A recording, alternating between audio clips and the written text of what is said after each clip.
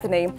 Play ball for 623 days. The lights have been out at Harbor Park, but later today they'll light up once again as fans head to the park to catch the Tide's 2021 home opener.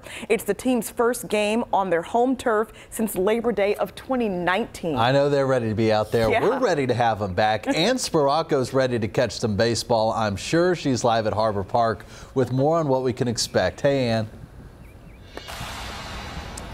Hey, Dan Ashley. Like I said, I don't know about you, but I love baseball, so it does feel really good to have the Tides back here at Harbor Park today. And we know the fans are really excited as well. But of course, opening day today is going to offer a lot more than just baseball, hot dogs, and other drinks. A team of FEMA officials are bringing a vaccine clinic to Harbor Park for the Tides opening day today.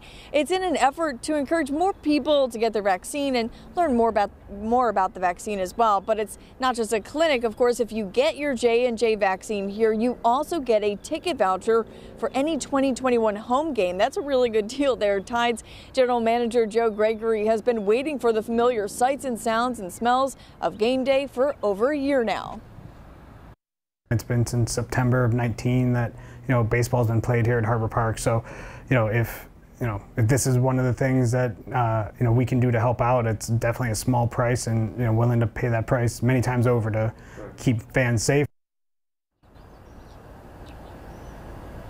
Now the clinic will be held from 5:30 until 8 at the Hits at the Ballpark Restaurant Stadium restaurant here. Now, of course, the people who do get their vaccine, you do have time in that wait period after you get your vaccine to even watch some of the game. Live in Norfolk, Ann Sparaco for 13 News Now. Okay, Ann, thanks. And our own team is on deck for the Tides home opener tonight. Philip Townsend, Connor Reel, Scott Cash, and Brian Smith pick up our coverage this evening as fans pack the stands. First pitch set for 6:35 tonight.